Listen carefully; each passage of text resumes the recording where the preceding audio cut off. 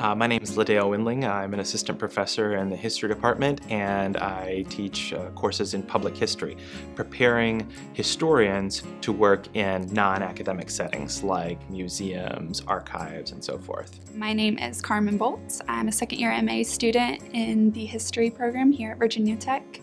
I was the project manager for the Newtown exhibit. Um, basically, that meant that I was the middleman who translated information back and forth between the team at the library, um, Dale, our professor in the public history course, and the liaisons for the four committees.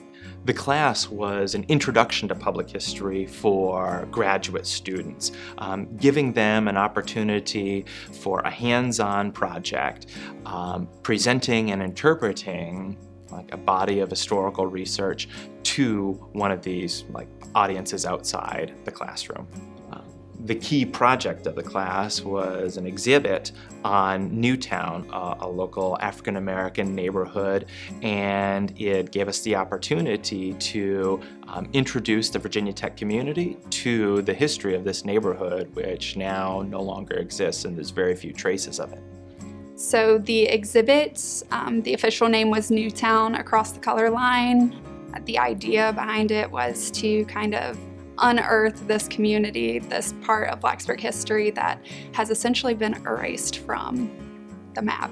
All that remains of the community is the St. Luke and Oddfellows Hall, which most people probably know as the white building behind B-Dubs a fraternal organization, a special chapter for the African American community within the International Order of the Odd Fellows, and so they couldn't uh, they couldn't be members of any other Odd Fellows organization, and so they got their own special charter, and that's the St. Luke's and Odd Fellows Hall that still stands today. We thought it was very important to kind of resurrect that and um, orient the audience towards that community.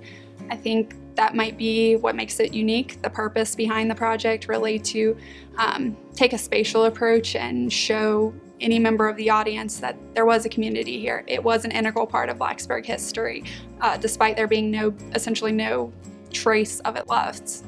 The North End Center basically stands where the actual community was during the first half of the 20th century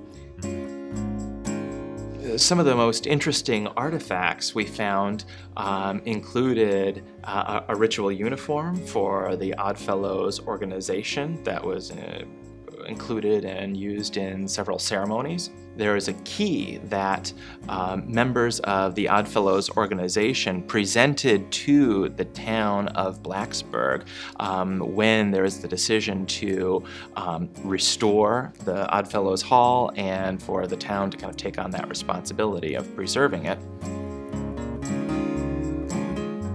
Ginger Wagner was a student who lived in the neighborhood um, in the 1970s, and uh, one day she had kind of gone around to the neighborhood and taken photos of some of her neighbors, some of the buildings, um, and just kind of brief um, slices of life, um, including uh, one of her neighbors uh, who was over 100 years old at the time and one of the most enduring Newtown residents right, over the course of the 20th century it's a long process. A class prior to this class actually did sort of the preliminary research on Newtown, went through land deeds at the Montgomery County Courthouse, um, did preliminary research at um, Virginia Tech Special Collections through the BMCF, and brought all that together to kind of create a narrative of Newtown. And so really getting to see the steps that were taken to create something tangible that people can come see that can inform the audience um, about this community and where it was and what its significance was, was really,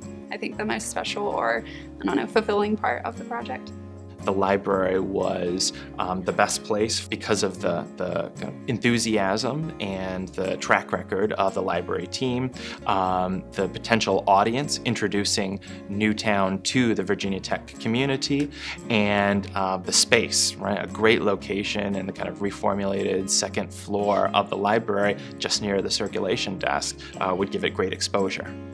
I said at the outset, um, we pull this off, it's going to be a miracle, and they pulled it off. Come to the exhibit. It's open um, in the lobby of the Newman Library until November 20th.